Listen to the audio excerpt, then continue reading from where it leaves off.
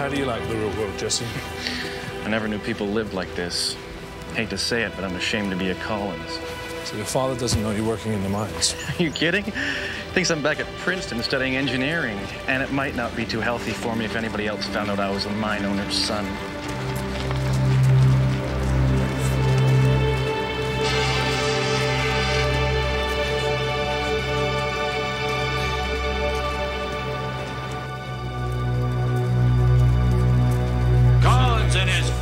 Family get richer every day.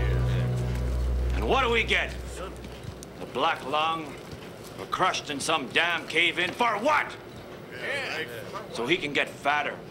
And our wives and children can starve.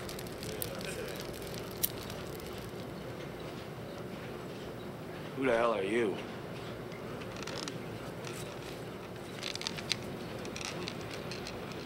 I'm Duncan MacLeod. He's a friend of mine. Friend? Is he one of Collins' private cops? Yeah.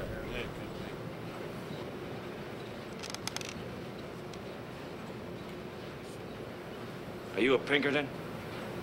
Nope, And how do I know that? because I said so.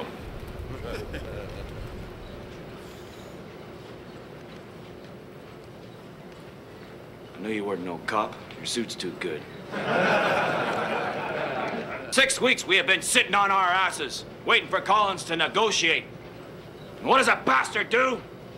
He brings in his own damn army. He's not gonna negotiate, Tom. He's gonna bring in scabs. We can't win. Like hell we can't. No, of course not. We can hit him where it hurts, in the pocket.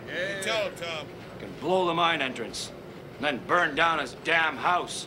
Show him what it's like to live like an animal. You're dead if you do.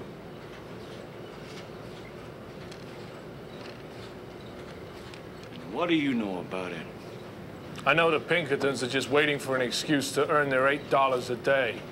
They're here fighting for money. We're here fighting for the right. They'll back down. They won't back down. They kill people like you for a living. Better a bullet than to die slowly in the mine. Yeah. Yeah. All right. Are you with us on this, Jesse? I don't know. Look, Jesse. You've got two choices. Either you're with us, or you're against us. And I don't think that you want to be against us.